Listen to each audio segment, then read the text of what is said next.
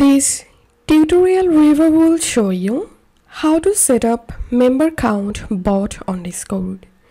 Open your browser and open membercount.net and this is official website for member count bot. Once you're here, now click on invite bot and select your server authorize and ensure that you are human. Once the bot added to your server go to your server.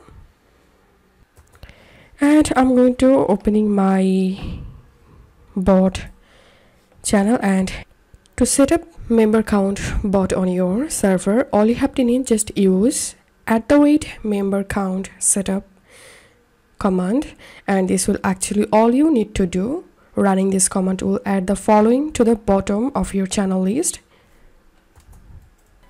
You can move this category and counters anywhere. So this is how we can set up member count bot on discord if you find this video helpful don't forget to subscribe tutorial river. See you in the next video